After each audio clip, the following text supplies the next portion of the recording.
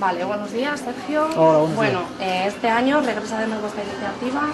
Cuéntanos un poco cómo surgió la idea de ofrecer este regalo a los clientes. Bueno, pues la idea surge, principalmente surgió de mi padre, cuando hace tres años ya se empezaba ya a deslumbrar un poquitico esto de la crisis y tal, y, y dijimos, bueno, hay que incentivar la, la, compra, las ventas de, alguna manera, ¿no? Y el primer año metimos un billete de 500 euros. Al principio nos tildaron un poquitín de esto, están locos, 500 euros.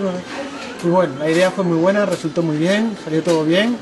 Al año, al año siguiente repetimos, pero en vez de con 500 euros con 1000. Y volvió a salir bien otra vez y este año pues seguimos doblando. Este año además como sube todo, pues sube hasta el premio del roscón, 2.000 euros. Eh, ¿Cuál es el objetivo de esta campaña?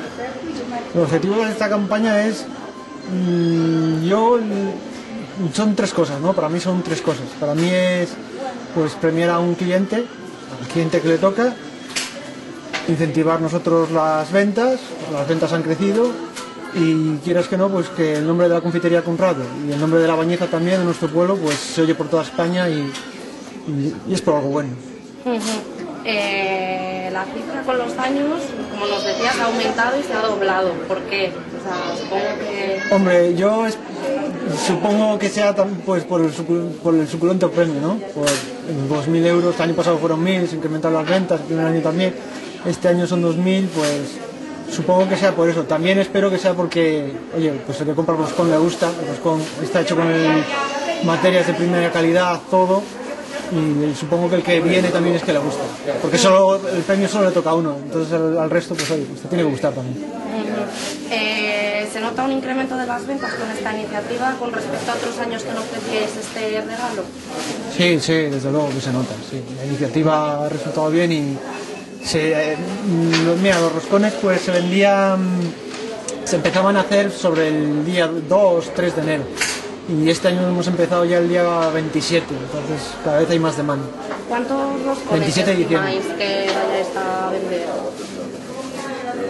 Pues el año pasado fueron entre 3.500, 4.000 roscones. Esperemos que este año o, por lo menos siga igual o por, o por lo menos que, que- avance un poco, ¿no? Eh, ¿En qué roscones podemos encontrar el premio? El premio puede estar en cualquier roscón, de cualquier tamaño, sea relleno, sin rellenar, pequeño, grande, mediano, es igual, en estar. Ujú. ¿Y qué días podemos adquirirlo? Ya. O sea, bueno, el roscón se puede adquirir desde ya y no están, además es que no están. Ayer abrí yo el correo electrónico en casa cuando fui y tenía una cantidad de pedidos, pero me quedé asustado más porque eran de, de toda España. Tenía gente de Huesca, de Córdoba, de San Sebastián, de Galicia, de Murcia, de todos lados. Ahora me han llamado de Madrid, un señor que viene por tres roscones desde Madrid y, y el premio en sí es de, entre los días 2 y 5 de enero. 2 o 5 de enero. ¿Y- ¿Y qué día se canjea este premio? Se canjea el día 7 de enero. Eh, ¿Cómo es el método? Es un vale, nosotros hemos, este año hemos hecho un vale por valor de 2.000 euros y es así simplemente, a canjearlo el día 7 de enero. Ujú. Eh, ¿Pensáis doblar la cantidad para el año que viene? Ojalá, a mí me lo han preguntado ya varias veces y, y yo siempre digo que ojalá, ojalá se pueda doblar la cantidad, ojalá, es buena señal que se pudiera doblar. Mm, eh, por último, bueno, cuéntanos un poco de qué están rellenos los roscones, cómo están... Bueno, el, el roscón es un roscón de, es un roscón de calidad, Mm, porque, vamos, el roscón lleva materias de primera calidad todo. Es un tópico, pero es verdad, si no lleva materias de primera calidad, al final el resultado, aunque el proceso estuviese bueno, el resultado al final pues no sería el idóneo. Entonces las materias primas son de primera calidad. Luego el roscón es una masa, es una masa de bollería, pero es una masa muy enriquecida, que lleva, pues, lleva leche, lleva nata, lleva mantequilla, ralladura de limón, ron, agua de azahar, es una masa muy enriquecida. Y luego pues lo del relleno, hace 6, 7, 8 años, el 90% de ellos eran sin rellenar. Y hoy es al contrario, el 90% de ellos son rellenos. Y entre ellos el rey del roscón, para la, la redundancia, pues es el relleno de nata. También el relleno de crema, bueno, pues anda muy parejo, crema y nata, trufa, y luego ya cada uno de lo que quiera. Eh, en el resto de roscones que no llevan 2.000 euros también nos podemos encontrar otros premios. Sí, todos los cones llevan como siempre y tradicionalmente su sorpresita. Todos, todos tienen su, hasta el más pequeñito lleva su sorpresa también.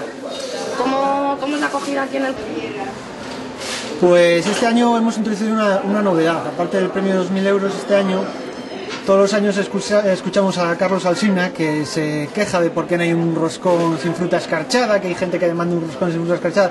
Dijimos, bueno, pues nada más sencillo que un roscón sin fruta escarchada. Entonces este año tenemos el roscón sin fruta escarchada que le hemos puesto el nombre de Carlos Alsina la brújula, o la brújula de Carlos Alsina.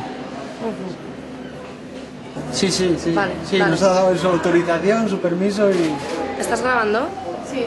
¿Y qué dice Carlos Alcina sobre esta iniciativa? Nada, le encantó, le pedimos permiso, oye, podemos poner tu nombre y tal, porque como todos los años estás diciendo, es que a mí la fruta escarchada no me gusta, todo el mundo la quita. Y dijo, perfecto, por mí poner el nombre cuando queráis, a mí me parece perfecto. Y nada, así lo pusimos. Simplemente eso, roscón sin fruta escarchada. Y ya lo ha pedido gente además, ¿eh?